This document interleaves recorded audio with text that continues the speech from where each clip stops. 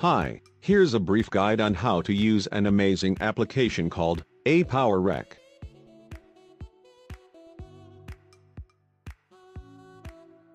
To use this app, you must download it first from its official page. Once installed, open the program and set some preferences by going to Settings. From here you are given two options, to set the basic settings, or to adjust the advanced settings.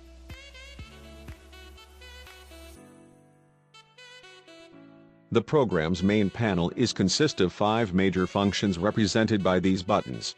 The system sound, microphone, webcam, recording modes, and the record button. All four buttons are clickable which you can easily activate and disable. If you need to record the system sound, the microphone, the webcam and screen at the same time, simply enable all four buttons.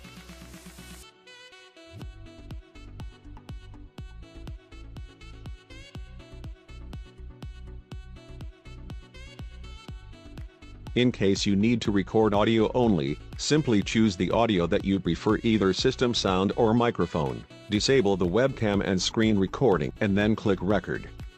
After doing some settings you can now proceed with the recording. To start a recording all you need to do is to set the recording mode that you want and then click the record button to initiate the recording.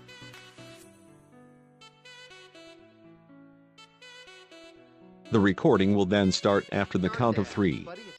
If you activated the webcam button, you can freely move the camera feeds anywhere you want it to be placed. To hide the toolbar, simply drag it on the edge of your screen, and hover your mouse back to relaunch the toolbar. While recording, you can also add annotations as you wish. 9 T HD03. H D03. D mm-hmm. Once you're done, just hit the stop button and the recorded file will pop up inside the tools recording list. see you. Nice to see you. Two. Officer Judy Hopps, CPD, how are you? HD03. Other functions that you can use in this program includes a task scheduler function that gives you an opportunity to record something even if you're not around. To use this, go to Task and click New Task.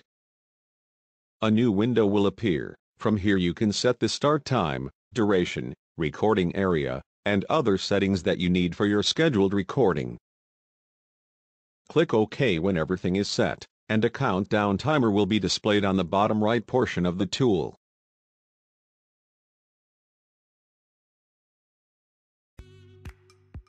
Filled with hatred, weak, just like your Captain and full. Next is the follow recording function that allows you to automatically end a recording by simply closing the program that you follow. To do this, go to Task menu and select Follow Recording. Another window will then appear. Tick the box to enable this function. Now from the Follow the Application menu, a list of running applications will be shown under the drop-down menu.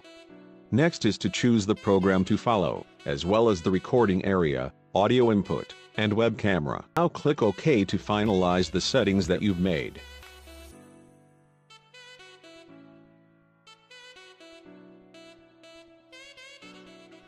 To end the recording all you need to do is to close the application that you are following, and the captured clip will be saved automatically under the Tools recording list.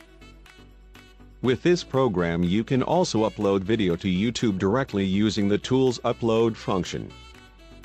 Choose a video to upload and then fill up the details that you want for your video and then click Upload.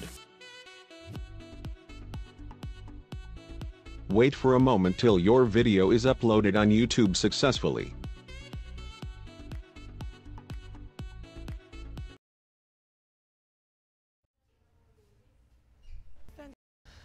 All of you.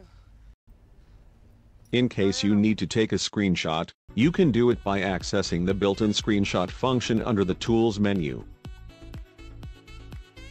To take a screenshot drag the crosshair along the area that you need to capture and release it. A preview will then be shown. Now you can save the screenshot right away or you can add annotations if you wish. Another way to capture a screenshot is by utilizing the screen capture button located at the toolbar. Hit the screen capture function and the snapshot will be saved under the Tools Screenshot library.